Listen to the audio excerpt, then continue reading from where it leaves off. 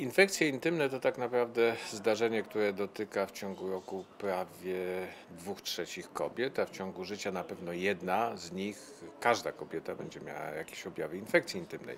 Dlatego, że to jest zjawisko częste, e, zjawisko, z którym mamy do czynienia często w gabinetach, ponieważ jest to związane z takim najbardziej podstawowym e, zjawiskiem, związanym z utrzymaniem prawidłowej flory w pochwie. Oczywiście, jeżeli współżyjemy, jeżeli mamy partnera, no to mamy również z nim dzieloną florę bakteryjną i nie zawsze ta flora bakteryjna jest florą dobrą albo tolerowaną przez nasz organizm.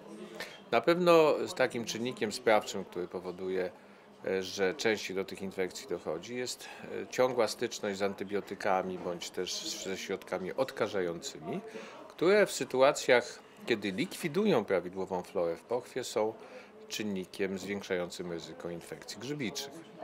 Na pewno takim czynnikiem sprzyjającym infekcjom jest to, że u niektórych kobiet wyrabiają się nieprawidłowe nawyki higieniczne związane z takim nadmiernym dbaniem o higienę, że dochodzi aż do likwidacji prawidłowej flory. A biologia nie lubi próżni. Jeżeli nie ma prawidłowej flory, pojawia się flora patologiczna i wtedy mamy do czynienia z infekcją, no, z którą trzeba już iść do lekarza.